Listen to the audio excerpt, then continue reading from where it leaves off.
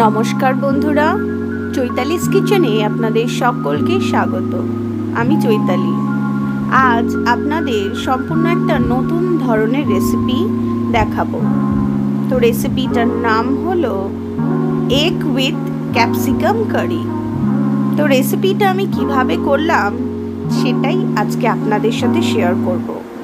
আশা করি আমার এই রেসিপিটা আপনাদের ভালো লাগবে। আর ভালো লাগলে পুরো ভিডিওটা দেখে লাইক করবেন শেয়ার করবেন, আর অবশ্যই আমার চ্যানেলটাকে সাবস্ক্রাইব করে আমার পাশে থাকবেন। তো এই রেসিপিটা করতে লাগবে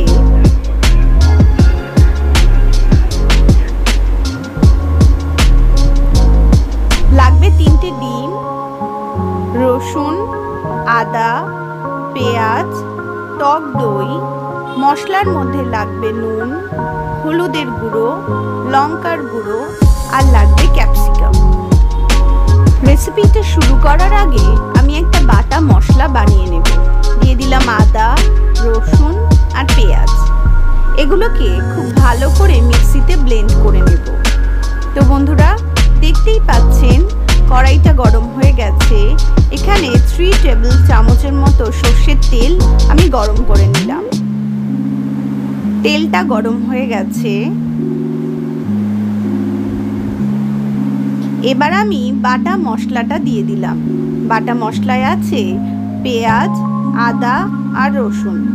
খুব ভালো করে মশলাটাকে আমি কষিয়ে নেব।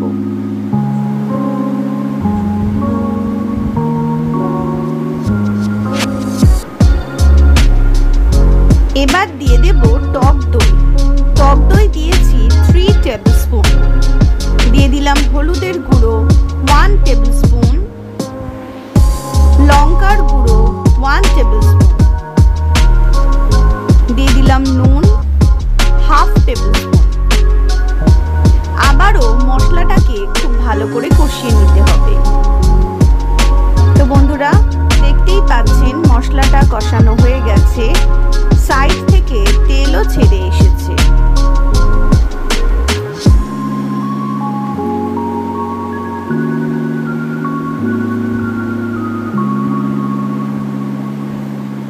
এবার আমি দিয়ে দিলাম সামান্য একটু জল। এক কাপের মতো জল আমি ব্যবহার করেছি।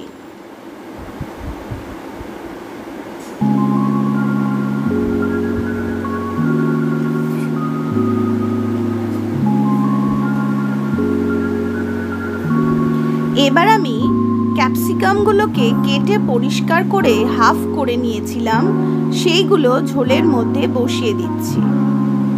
আর একটা করে ডিম ফাটিয়ে নিয়ে এই ক্যাপসিকামের মধ্যে ঢেলে দিলাম।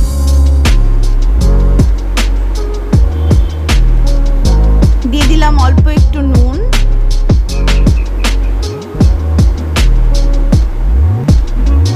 আর দিলাম লঙ্কার গুঁড়ো।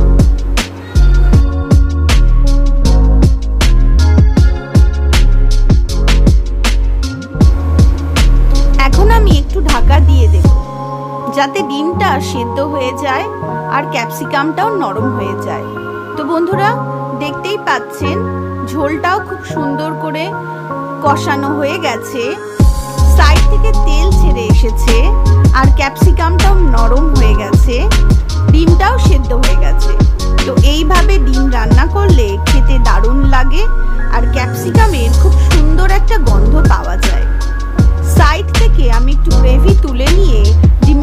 দিয়ে দিচ্ছি। যাতে মশলাটা ডিমের মধ্যে চলে যায়। আশা করি আমার এই রেসিপিটা আপনাদের ভালো লেগেছে। এখন আমি এই capsicum with egg curry serve করে দিয়েছি। বাড়িতে অবশ্যই ট্রাই করে দেখবেন আর আমাকে কমেন্ট করে জানাবেন।